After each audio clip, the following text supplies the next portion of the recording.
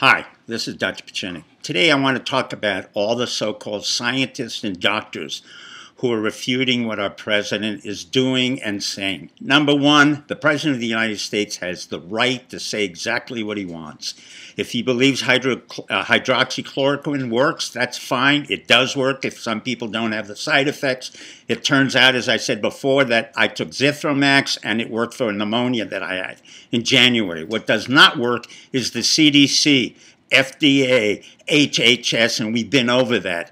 Then there's a new entity that comes in, the so-called representative of science and medicine, Dr. Patricia Harris, the first African-American woman to head up the American Medical Association. For those of you who want to know something about me, I never belonged to the AMA. I would never join the AMA. It's a corrosive, corrupt institution that has no basis in science. But, but Dr. Patricia Harris nevertheless was arrogant to say, oh, the president doesn't know what he, he's doing. He does know what he's doing. In fact, he's pumping in money into the administration. He's recommending hydroxychloroquine. He's recommending Zithromax, whatever works. And we don't have the time, eight months to one year, to figure out what's going to work. But Patricia Harris, who happens to be board certified in psychiatry, would have failed if I, the board examiner, had asked her this question.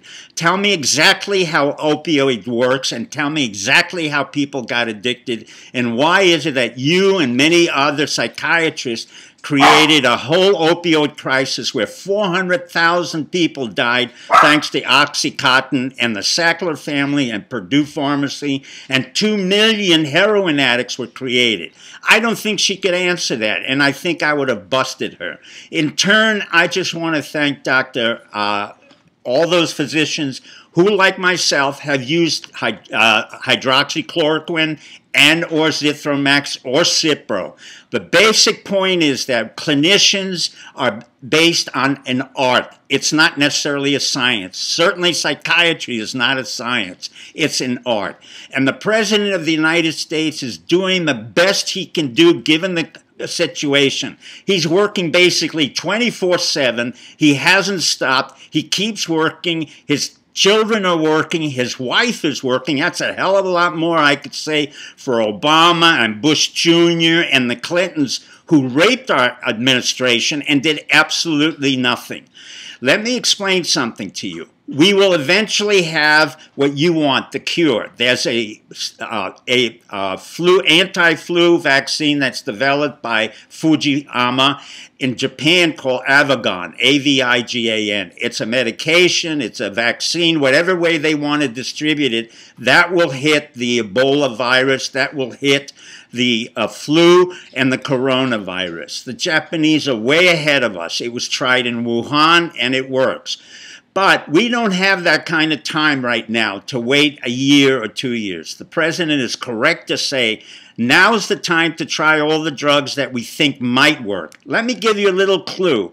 We still don't know how aspirin works. And if aspirin has never had a controlled study, we wouldn't have had aspirin, and we've never had a controlled study on aspirin.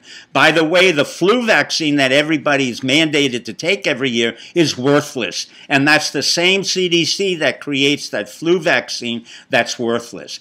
So let's give Trump a, a, a, some recognition and let's support him. Let's support Jared Kushner. Let's support Mnuchin, who has done an excellent job of providing the cash flows for doctors, dentists, and others who cannot work at this point or have to dismiss all of their workers.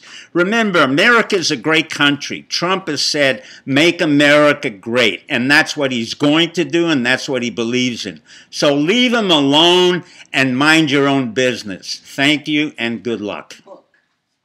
Oh, again, I forget.